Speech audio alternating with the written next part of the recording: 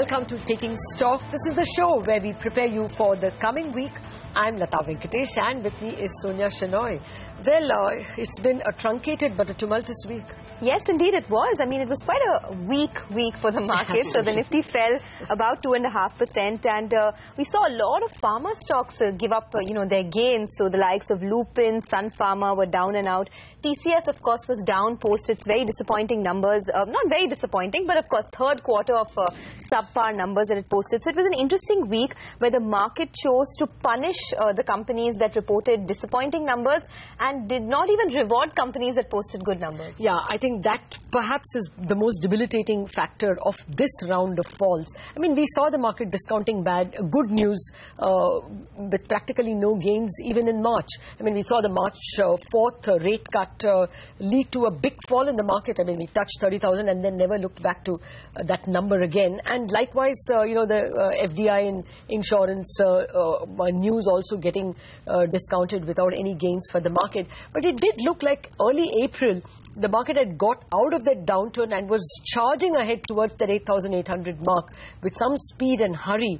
Uh, and uh, after a bout of gaining of the big stocks, you know, the IT pharma, uh, IT for the safe stocks, you saw the baton getting passed on even to the bank nifty, and at one point it did look like it was it is pulling itself by the bootstraps.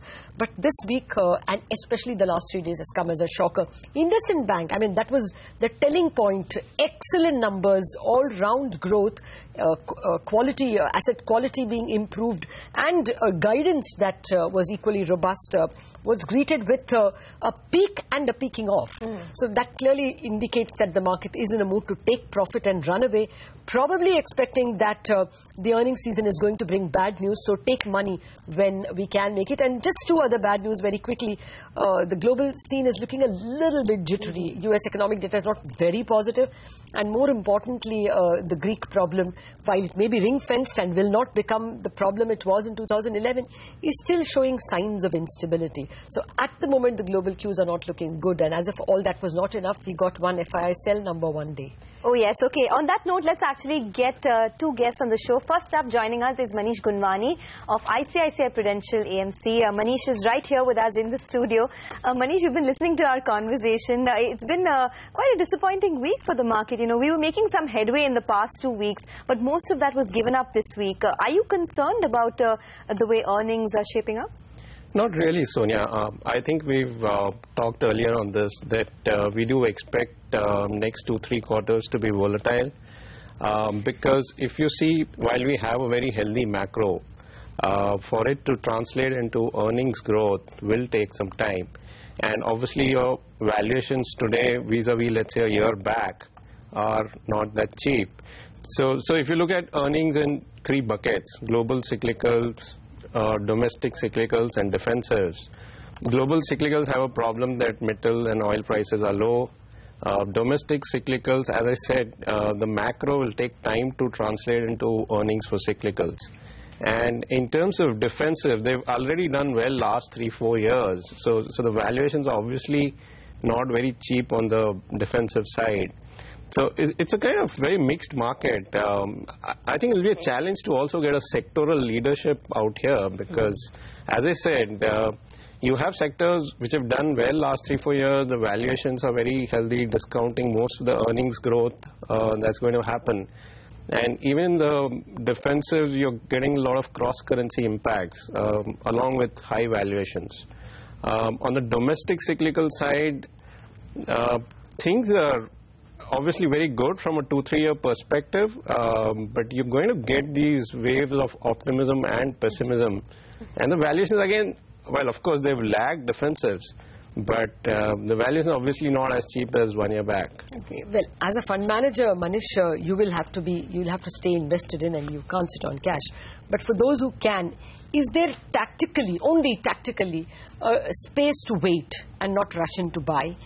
Or is it even more than that? Like maybe stay invested in debt because uh, with the good inflation numbers, maybe there is some money to be made in debt and then you can move the money to equities. The challenge, Latha, there is it's very difficult to time equities. We've seen how the sentiments are changing so rapidly. Um, so I take that point and uh, we have for example, a couple of hybrid products like Dynamic and Balance Advantage, which do what you're saying in terms of rebalancing between debt and equity uh, dynamically. But otherwise, I think if we have a positive view on equities from a two to three year perspective, I think there's reasonable value out there. I think what's happened is you have specific pockets of quality uh, super large caps which are expensive. Uh, the, some of the cyclicals might be stretched. But I think you can uh, build a reasonably healthy portfolio kind of trading of valuation and earnings growth over the next two, three years. Okay. Uh, you know, uh, last week, the interesting part is that while uh, pharma and IT were down, oil and gas made a bit of a comeback with names like ONGC up 6%, and Reliance also delivered a very strong set of numbers on Friday. Uh, would you increase your exposure to uh, the oil and gas space, uh, specifically the names that I mentioned? So we do have a reasonable exposure out there purely because of the fact that from a valuation perspective, um, frankly, metals and oil and gas um, are the only two sectors which, on historical basis, if you look at long-term price to earnings or price to book bands, um, they're obviously cheap. Uh, so, so we do have some exposure there, and I think the key there is the movement in crude because while value is there, uh, what uh, probably kind of um, uh, helped it was the crude move because end of the day, a lot of the earnings in that space are uh, dependent on crude price. Hmm. Okay, uh, Manish, how would you approach financials? We had two banks uh, announcing numbers uh, in the week that just went by. Excellent numbers. They got sold off. So, which part of the finance space will you like? So, um, there are various segments in that. Um, we do have a very healthy weight on private banks. Um, I know it's it's a bit of a consensus call, but uh, you can't deny that it's it's a very uh, structural um, story mm. for multiple years to come. Uh, we also have reasonable exposure to PSU banks because they I the think best performers this week. exactly. I, I think um, one is they're underowned, um, so obviously um, you have that uh, as an advantage. But if you're going to see a economic recovery over two to three years, uh, we do think that PSU banks will benefit a lot, apart from the fact that the government also seems to be doing a lot of things to improve the governance out there. So I think it's a very interesting space where uh, you kind of uh, buy for cyclical reason, but um, who knows, it can turn out to be a structural story as well. The other big uh, talking point last week was TCS, right? I mean, uh, it fell 7% after what was a, a, subpar set of numbers. Is that a good uh, buying opportunity? Not just TCS, I'm talking about the entire sector. Um, again, don't want to comment on individual yeah, sure. stocks, but generally, as I said, some of the um, very um, large caps in the defensive space, we still think the valuations are quite stretched because the absolute markets are such that for them to compound over three, four years um, lo looks like a very difficult task. Okay, so that would uh, that would be restricted to large cap IT, or that would be, uh, uh, you know, you can associate that with large cap pharma as well. Both the spaces, I think, uh, what we are trying to do is um, pick stocks. There are certain stocks we think there are um, overvalued in those spaces. There are certain stocks we think there's still reasonable return to be made. No, but as a sector, would you have already in the past few weeks or will you trim uh, the sectoral exposure? Uh, Latha, again, as I said, it, it's a very difficult uh, market to navigate from a top-down sectoral perspective okay. because, as I said, the quality companies, uh, they're very, very stretched. You take their long-term price to earnings, price to book, they're very stretched.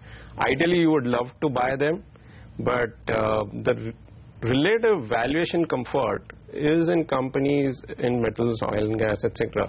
So I think you'll have to mix and match. Um, there's no sector leadership we we're seeing right now.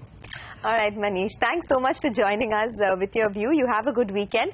Uh, let's do one thing. Let's take a break. But before that, uh, Reliance was the big earnings that came out post-market hours on Friday. So let's listen in to Anuj with uh, how the Reliance numbers were this time around. Anuj solid performance. It's the, you know, for the record, it's the best quarter that Reliance has delivered. Uh, but I would still fall short of uh, delivering, calling this uh, a blockbuster performance because the stock has rallied already and quite a bit of this could be in the price. Uh, if you take a look at the net profit standalone, that's close to 6,200 crores. Uh, uh, so that's gone up about 23% quarter on quarter is what we have for Reliance. The gross refining margin of $10.1 per barrel is at two-year high. The market was going with expectation of about $9.9 per barrel. If you take a look at the other businesses, though, there is a bit of underperformance. You have petchem business, which has seen a bit of decline, 3.7% uh, quarter on quarter. Refining business, of course, has gone up 32% because of that gross refining margin, and that's what's uh, making up for disappointment everywhere else. Apart from that, if you take, take a look at the consolidated number for Reliance, the net profit is 6,400 crore, up 18%. Oil and gas EBIT consolidated down 68% to 330 crore quarter on quarter. That's mainly because of shale business. That was one concern that analysts raised, and that's something that we'll have to talk about later. In terms of uh, other important parameters to watch out for, FY15 EPS of 80 rupees now, Keep in mind, the stock is up 12% this month already. So Monday morning, the consensus was that the stock will still rally because the numbers are quite good. But will be interesting to see if there is any, any further re-rating based on these numbers because it's already been a market leader and quite a bit of this is already priced in. Also, uh, keep in mind, the standard disclaimer will flash on the screen. Reliance has taken over management control of both TV18 and Network 18, the companies that own the channel that you watch. Thanks a lot for that, Anuj. Uh, uh, it's time we took a break, but uh, let's leave you with some more market opinion that we got through the week. We are back in a jiffy. GDP acceleration in FY16 is only 20 basis points, while a sharper recovery uh, we, we, are forecasting in FY17. And that's, that's, that's a framework which we've held on for a long time. We have been uh, worried about uh, rural slowdown since early last year, uh, in line with the thesis of inflation surprising positively. Uh, and that, thesis is playing out, but uh, the recent data point suggests that the rural slowdown could be even worse than what we had anticipated. If you look at two-wheeler sales trends, tractor sales trends, the rural wages trends. so in that context, we're still maintaining our underweight stance on rural exposed uh, uh, sectoral stocks. Uh, secondly, uh, even on urban consumption, while there was a lot of euphoria in the market uh, second half of last year, our view is that even urban consumption will take time because the fiscal impulse is still negative. India, I think it's run out of a bit of momentum, to be honest. I think the budget that we discussed at the time, it didn't really have a big wow factor. There was nothing wrong with the budget. There was a lot of things that, that can turn out to be very positive. Um, but, you know, India's had this huge rally for the past 18 months. I think the Indian market's taking a bit of a pause and it, it sort of needs a, a, new catalyst in my view. I think for now, India probably take a little of a backseat to some of the other uh, big so-called emerging markets like China.